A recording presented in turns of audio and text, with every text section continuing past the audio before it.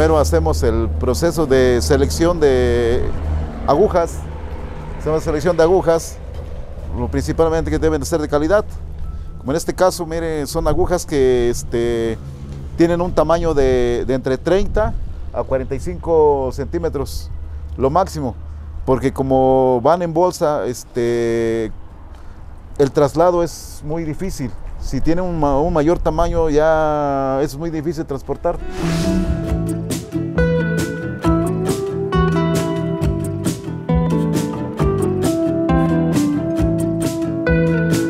¿Qué es más recomendable para ustedes? ¿Que se haga el trabajo como lo estamos viendo aquí en el embolsado o se puede plantar directamente ya así como lo miramos? Este, pues es la verdad, este, petición de los clientes. Nosotros acá, este, en lo particular, yo siembro directo. Hago la selección de aguja, nomás que ya la aguja en selección, cuando es directo, ya va a un tamaño de 60 centímetros. ¿Qué tiempo tiene que estar aquí la planta para que empiece ya el proceso de enraizado? Este, este necesita alrededor de un mes y medio nada más, pero nosotros le damos este, de 5 a 6 meses pues para que ya lleve una raíz un, buen tamaño, porque al, al, mes y medio solamente tiene unas puntitas.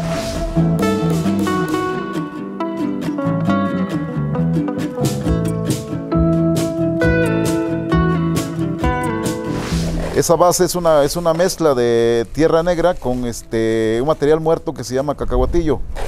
Cacahuatillo es un material con el que elaboran este block para las construcciones. Este, este es un material muerto, el cacahuatillo, pero este conserva la humedad.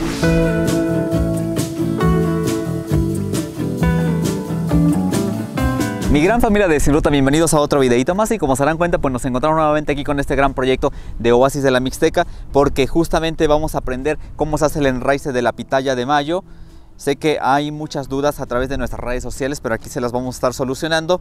Vamos a conocer un poquito brevemente aquí el proceso.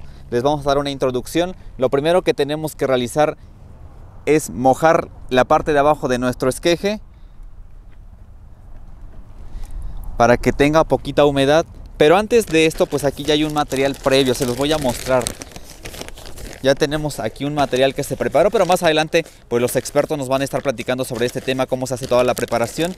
Entonces ya humedecimos nuestro esqueje, que de igual manera ya también se hizo una selección del material vegetativo en la huerta y lo vamos a colocar aquí en la bolsita. Y ahora sí le vamos a poner tierra más.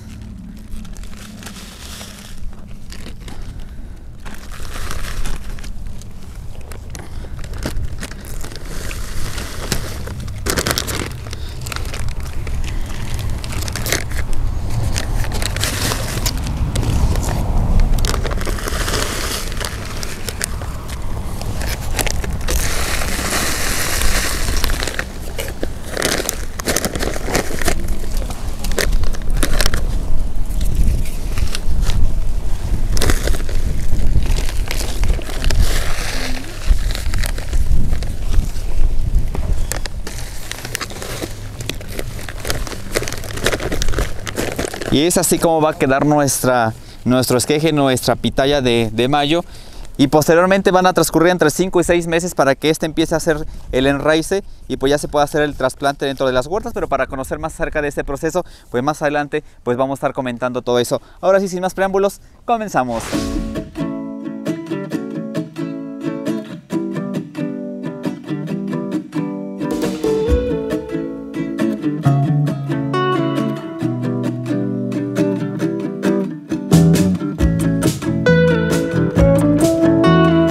Para entender pues más acerca de este gran proyecto nos encontramos con los encargados de Oasis de la Mixteca. Antes que nada, pues muchísimas gracias por recibirnos nuevamente, con, por compartir un poquito pues del trabajo que hacen aquí con nuestro público de las redes sociales.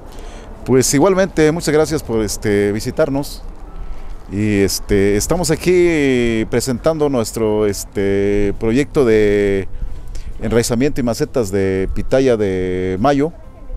Sí, somos Oasis de la Mixteca, todos somos Oasis de la Mixteca compañeros. Y ya saben que este, nos pueden contactar a los teléfonos al 224-103-5738, al número 224-107-1539. A nuestro número de oficina, el 224-115-9001. También pueden este, contactarnos a nuestra página. Oasis de la Mixteca. Pues bien, de igual manera aquí en la parte de abajo, en el primer comentario, en la descripción, yo les voy a estar compartiendo pues, los números telefónicos, las redes sociales. Si alguien quiere arrancar un proyecto, pues se puede poner en contacto directamente con ustedes. ¿Cómo es que arranca todo este proceso? Pues sí, este, para poder llegar a la meta final que es este, la maceta, primero hacemos el proceso de selección de agujas, hacemos selección de agujas, principalmente que deben de ser de calidad, como en este caso, miren, son agujas que este, tienen un tamaño de, entre 30 a 45 centímetros, lo máximo. En este caso tenemos aquí este, pitaya de mayo, tenemos amarilla y tenemos roja. Se hace la selección, este, cicatrizamos este, durante un, un este, mes. Esta es como la señal de que ya está listo para que empiece uno a hacer el trabajo del embolsado. Sí, Sí, ya, lleva más de un, mes, un mes más o menos y otros ocho días. El enraizado ya lleva como un mayor éxito de que la, más garantía, ¿no? Sí, más que nada ya, ya hablamos de un 99% de efectividad en su este este en la plantación ya es un 90% 99% efectivo ya a diferencia de, de directo sin raíz hay unas pérdidas alrededor del 10% más o menos. Que en realidad todo este trabajo de la selección del material vegetativo arranca en las huertas. Así es. Sí, todo se hace la selección en las huertas, que el material esté sano, ¿sí? que tenga este, el tamaño adecuado, y este, se, hace el corte y ya se, se traslada. En este caso aquí tenemos el, es el vivero, aquí donde hacemos todo el proceso de enraizamiento. Sí. Pues Inge, ¿qué le parece si entonces arrancamos ya con el proceso de las mezclas que ustedes hacen en tanto tierra y el otro material que tienen aquí para que también vayamos conociendo un poquito más, más a fondo su trabajo? Sí, pues este, el, primer paso es eh, hacer la selección de, de agujas. Segundo paso, cicatrizar, dejar que cicatrice durante un mes. ¿sí? Y ya a la hora de, hacer el proceso ya de embolsar, como en este caso aquí el compañero este, Germán, sí, este, miren, este, dos medidas, eso le llamamos nosotros base. Esa base es una, es una mezcla de tierra negra con este, un material muerto que se llama cacahuatillo. Cacahuatillo es un material con el que elaboran este block para las construcciones. Este, este es un material muerto, el cacahuatillo, pero este, conserva la humedad es un este, este hace un método de absorción de agua que lo va despidiendo este, poco a poco. ¿sí? Conserva más el agua y, este, y más humedad para que tenga una mejor estimulación de enraizamiento, la aguja. Ese es, ese es el siguiente paso. Y por ejemplo, cuando se va a ir eh, directamente a la huerta ya la siembra, ¿también se hace la misma preparación igual que lo miramos aquí o es diferente? no, es diferente es diferente, eso ya este, forma parte de la, de la este, plantación, ese ya es otro proceso. Inclusive este también lleva otro proceso, ya cuando se le retira la bolsa, sí, ya este, se hace otro proceso. En este caso pueden ver aquí al compañero este, Jarocho, ya muchos lo conocen en las redes sociales, Jarocho, muy famoso. Este, va este, a embolsar, aquí la, la compañera este, está embolsando. Si ese es el siguiente paso. Pero antes de colocar este, la, la aguja en la bolsa, se, se este, introduce en un bote con, con, una mezcla de enraizador. Después ya de que se coloca en la bolsa, pues se le agrega ya tierra, que es la que va este, a detener este, la aguja para que no se caiga a la hora de, colocarla ya en su lugar de, reposo, podríamos decir, ¿no? ¿Qué tiempo tiene que estar aquí la planta para que empiece ya el proceso de enraizado? Este, este necesita alrededor de un mes y medio nada más, pero nosotros le damos este, de 5 a 6 meses, pues para que ya lleve una raíz un, buen tamaño, porque al, al, mes y medio solamente tiene unas puntitas y ya este a los seis meses ya tiene raíz de, agarre. Sí, ya es más, este, hay más este, desarrollo fenológico ya con raíz este, con mayor, mayor tamaño. Lo que hacemos nosotros es que los clientes queden satisfechos con nuestro trabajo y principalmente que nos vuelvan a comprar más, ¿no? Para que sigan este, avanzando con sus cultivos de pitaya, pitahaya o choconostle, que nosotros podemos surtir, ¿no? ¿Hay alguna época especial en el año que se tenga que realizar el trasplante? Sí, sí tiene que ser en la temporada de seca. Sí, este, por eso esto lo programamos para que en el mes de, de, de abril, mayo, estemos surtiendo ya a los este, clientes. ¿Por qué? Porque es en la etapa que este, nos da tiempo de, de hacer las labores, como lo que es este barbecho, rastreo, bordeo, de acuerdo a la región que se vaya a llevar a cabo el cultivo, la plantación. Entonces, este, esperar ya las lluvias, porque pues por lo que toda la gente este, debe de saber que este cultivo es de temporal. Entonces hay que esperar este, las lluvias para que pues empiece a desarrollarse más. ¿No requiere de que cuando ya se siembre se le ponga algún sistema de riego? Pues a, a nosotros, nosotros sí utilizamos sistemas de riego, pero porque producimos fruta para exportación, pero solamente son, le llamamos riegos de auxilio. No podemos eh, darle riegos como hortalizas, como otro tipo de cultivos, porque la planta ya no da fruto. Tiene que estar expuesto a, a escasez de agua para que dé fruto. ¿Cuántas plantas de estas nosotros podemos sembrar en una hectárea aproximadamente? Este, tenemos dos, dos diseños y recomendamos dos. Este, uno que es el tradicional, que va a, este, a una medida de 250 por 4. Esa este, son, son 1100 agujas, 1111 agujas por hectárea. Y tenemos otro que ya es más productivo, que se va a, 2 por este, 3. Ese ya son 1650 agujas por hectárea.